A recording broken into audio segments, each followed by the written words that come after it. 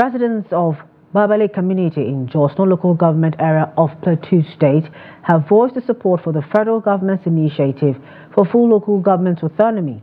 They believe that restoring full autonomy to local governments will foster development in villages and communities, rather than having state governments dictate local affairs. Ado Musa tells us more. Nigeria has 774 local governments but their administration has been stifled by the overbearing influence of state governors.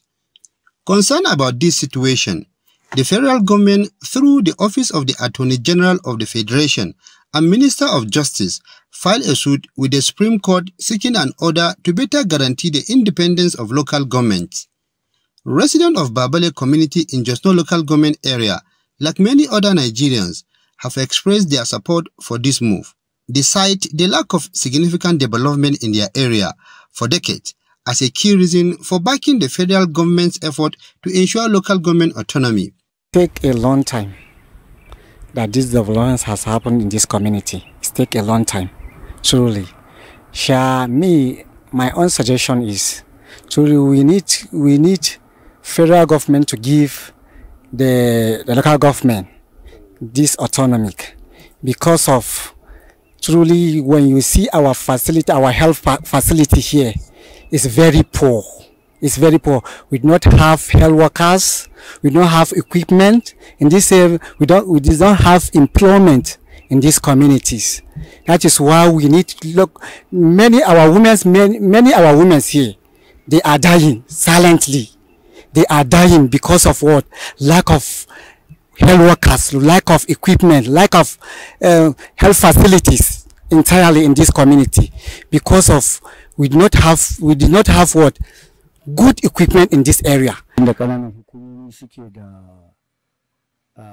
When there was full local government autonomy some years ago, we used to enjoy a lot of things schools and primary healthcare were well equipped because we could take our complaints to local government council and quickly attended to. But today, we don't enjoy it anymore because the autonomy is no longer there. Our hospital and school are completely deteriorated. For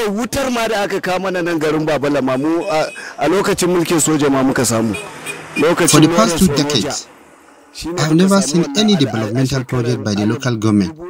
All the social amenities we enjoy today were executed by the then military regime.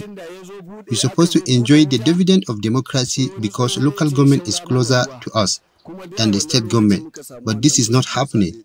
The residents believe that the local government autonomy will bring much needed progress to their community. Yes, we are calling for federal government.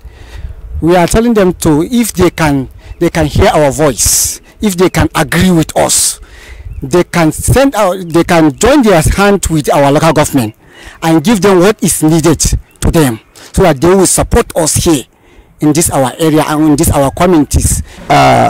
daga inda aka ce in dai impact da zai taba talakawa wallahi babu kaman in giving back the autonomy to local government. We will be very happy because we will have our hospitals schools equipped and other social amenities will be provided. Wannan yunkuri da gwamnatin tarayya take so ta yi wannan yana da kyau. Yawa na ba ma local government gashin kanta ɗin nan yana da kyau.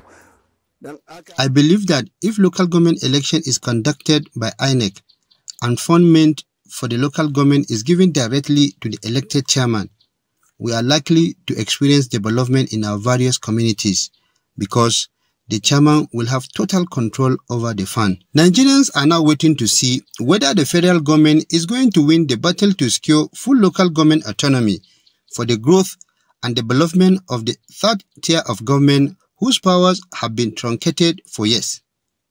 Ado Musa, Trust TV News, Jos.